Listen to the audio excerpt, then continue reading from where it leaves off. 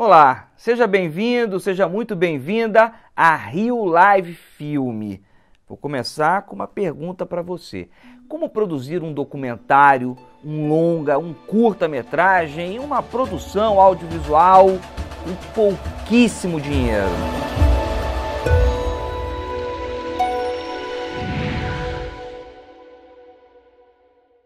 Muito bem, eu vou colocar até meu fone de ouvido porque hoje o programa Rio Live Filme vai debater esse verdadeiro dilema.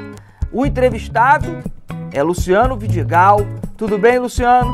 Tudo tranquilo. Eu confesso que eu tenho que dizer isso por eu estar com saúde, minha família está bem nesse momento difícil que a gente vive no mundo. Então eu, te, eu só agradeço. Tenho só que agradecer de estar bem com saúde. Perfeito. Então, olha, seja muito bem-vindo. Vamos saber mais quem é Luciano Vidigal. Luciano Vidigal é ator, diretor de teatro e de cinema. Fez o roteiro e dirigiu um dos episódios de Cinco Vezes Favela, agora por nós mesmos, distribuído pela Rio Filme. Atuou em 18 filmes, de baixos a altos orçamentos. Vidigal, é possível produzir toques curtas, longas, com baixíssimo orçamento? Ainda bem que é possível, porque se não fosse possível, eu não me tornaria cineasta. Assim. Eu acho muito importante pessoas com, com, com o meu perfil, que é oriundo da favela do Rio de Janeiro, é ser um cara preto, enfim, poder fazer cinema no Brasil para poder trazer esse olhar de diversidade. É possível sim. É, e agora, no meio dessa quarentena, também a gente consegue se reinventar e fazer filmes, enfim, com baixíssimo orçamento. É isso veio logo depois do digital ali, sabe? Quando surgiram essas câmeras, logo depois que era, antes era uma película, né? Muito caro, muito elitizado. O cinema digital ele, ele, ele democratizou e permitiu esse acesso para que a gente pudesse realizar filmes com baixíssimo orçamento. É possível. Agora, existe uma, um pensamento primário, ou seja, eu tenho que pensar nisso, nisso, nisso para começar uma produção que, que seja de baixo orçamento? O que, que é preciso se preocupar logo de cara? Eu acho que primeiro você tem que deixar vir a sua ideia, a sua intuição. É, eu, sou muito intuitivo, né? Ver aquilo que te toca, o tema que te toca, o personagem que te toca, é, e focar nisso. Depois que veio essa sua ideia, aí você começa a desenvolver ela escrevendo, pensando de uma forma mais barata, assim, uma forma de realizar de forma mais barata, sabe? É, é importante você escrever pensando na produção, né? Aonde eu posso economizar, em locação ou o que for, a sua ideia ela tem que ser barata para que você realize. Eu sou, eu sou escorpião, né? Escorpião é muito prático. Então a praticidade também é super importante. Então tem que segurar um pouco a viagem e ter um pensamento mais barato nesse lugar para que, que realize as suas ideias.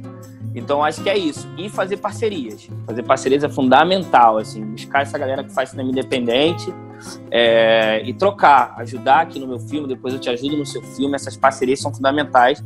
Né, à toa que o meu maior parceiro é o Cavi Borges. A gente faz muita coisa junto, assim, com a Cavídeo. E é a partir de parcerias e pensamentos baratos e viáveis que a gente consegue realizar nossos filmes. Cavi Borges é produtor, diretor, editor, criador da Cavídeo e, gentilmente, enviou uma pergunta para Luciano Vidigal. Luciano Vidigal, você que é um dos pioneiros do cinema de favela aqui no Rio e no Brasil, precursor do cinema de periferia, como é fazer um filme com baixo orçamento? Como é fazer um filme com grande orçamento? Qual é a diferença entre trabalhar com baixo e grande orçamento? Valeu, parceiro! Cavia, meu parceiro de vida e meu parceiro de arte. Pô, ah, e agora a gente vai fazer um filme junto. Nosso próximo filme, chamado Casa Branca, que é um longa, que vai ser um orçamento que eu diria que alto, né?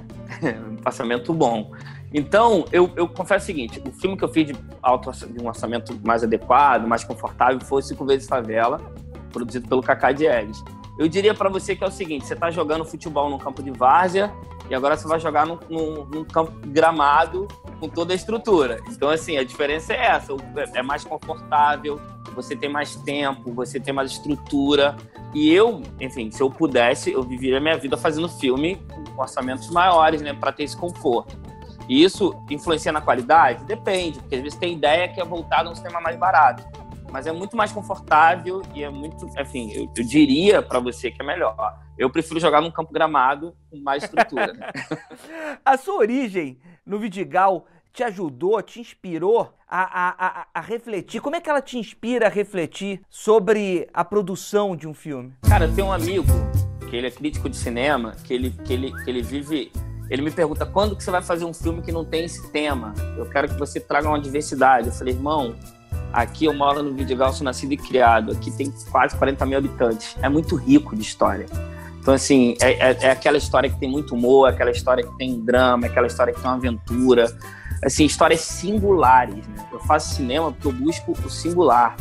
Então o Vidigal é muito inspirador, né? Por que, que ele é inspirador? Porque são personagens, né? São pessoas incríveis. É o que eu falo, se um dia a favela para, não descer pro asfalto, a cidade para. E tem uma frase do Racionais que eu adoro, assim, você pode sair da favela, mas a favela não vai sair de você. Então tá aqui, tá aqui, e eu vou levar isso pra vida e vou contar muita história daqui. Entre o Leblon e São Conrado, o bairro do Vidigal é famoso por já ter nascido em uma das vistas mais fotografadas do Rio de Janeiro, o Morro dos Irmãos. É conhecida como a comunidade querida dos turistas. O Mirante do Avrão lota quando há festa. O recém-falecido diretor de cinema e músico Sérgio Ricardo morou por anos no Vidigal. O premiado grupo teatral Nós do Morro foi criado pelo jornalista e ator Fraga Ali. Babu Santana, Tiago Martins e Roberta Rodrigues são alguns dos talentos a partir desse projeto. Vitigal, o Oswald de Andrade falava que era importante nós olharmos com os olhos livres, ou seja, enxergarmos o mundo de uma maneira poética, distante e ao mesmo tempo sem aquelas amarras históricas. Como é que você faz os seus olhos ficarem cada vez mais livres? Concordo. Arte é liberdade. É, Oswald de Andrade é uma grande referência, eu diria. Até nessa libertinagem, até nessa, entendeu? Nessa, nessa ousadia na narrativa. É, influencia muito, me influencia muito como artista. O que eu faço é o seguinte: eu gosto do torto gosto do feio, eu gosto da minoria. O que, que é isso? É tudo aquilo que a mídia não representa com grande força, né? É o, é o sabe? É isso que eu gosto. Então a minha arte, ela tá nesse lugar de liberdade.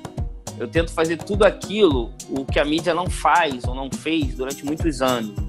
É, imagina, eu sou cria da favela, cara. Então, assim, imagina o que, que eu tenho para contar. Eu sou filho da empregada doméstica. Então, é muita história para contar. E eu, eu quero usar uma frase que o Carinha Nunes, cineasta que eu respeito muito, me falou uma vez numa palestra. É, o meu desafio é humanizar o estereótipo. Então a minha liberdade ela vem daí.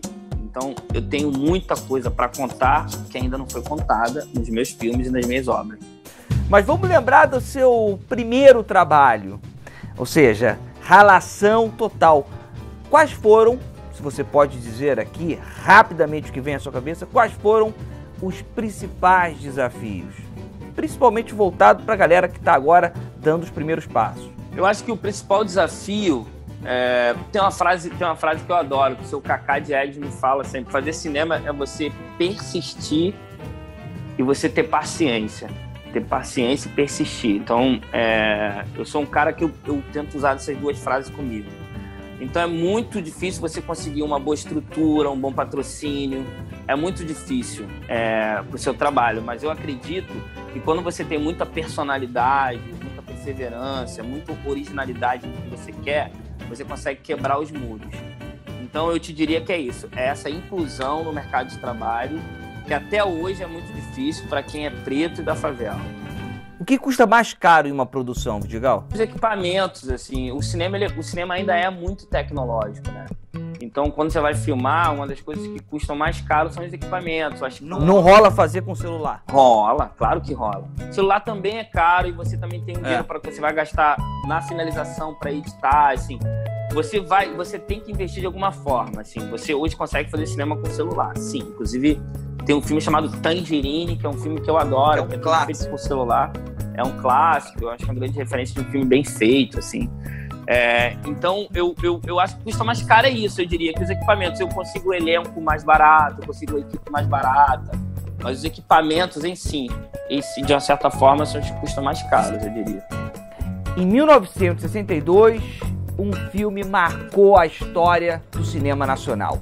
Eu estou falando de Cinco Vezes Favela. Cinco jovens diretores, Marcos Farias, Miguel Borges, Cacá Diegues, Joaquim Pedro de Andrade e Leon Rieserman retrataram episódios vividos em favelas do Rio de Janeiro. Em 2010, uma nova versão, Cinco Vezes Favela, agora por nós mesmos. Filme que foi distribuído pela Rio Filme e que contou com cinco novos diretores criados, nascidos em favelas do Rio de Janeiro. Luciano Vidigal, como eu disse no começo da Rio Live Filme, fez a direção e também assinou o roteiro de um dos episódios. Hoje é Natal, velho. Rapaz, é Natal aqui também, né? Tu não pode ir embora e deixar a gente no escuro, não, rapaz! Está completando 10 anos do lançamento de Cinco Vezes Favela, agora por nós mesmos. O que mudou na sua vida? Divisor de água. Divisor de água.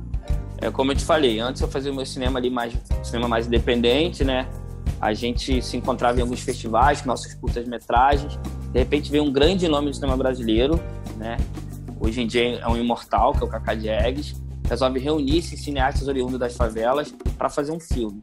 Então a grande revolução foi essa, a gente se unir em prol de um filme, e um filme que tinha um teor muito político, que é a gente abrir as portas das nossas favelas para que a população brasileira entrasse, nos enxergando de uma forma mais humana e mais poética. O que que mudou? Eu, eu entendi como é que funciona o business, eu entendi como é que funciona o entertainment. Então, assim, eu estrei num dos maiores festivais do mundo, que é o Festival de Cannes e, eu vi o meu filme no Shopping Leblon, sabe? Então, assim, você entender isso de uma forma grandiosa é, e você ter esse respeito pós ver favela é um divisor de águas. Eu aprendi muito, filmei com película, né, com os maiores profissionais do cinema brasileiro e aprendi muito e foi um divisor de água, assim. Eu ganhei muito respeito depois desse filme, fiz muitos amigos e eu olho para ele como um grande marco na minha vida. Vidigal, obrigado, obrigado pela conversa. Eu que agradeço, eu que agradeço, foi ótimo. Grande abraço para você. Bem, tirar o fone e agradecer você. Muito obrigado pela companhia. A Rio Filme está nas redes sociais, tem muitos conteúdos exclusivos para você. Até a próxima. Tchau, tchau.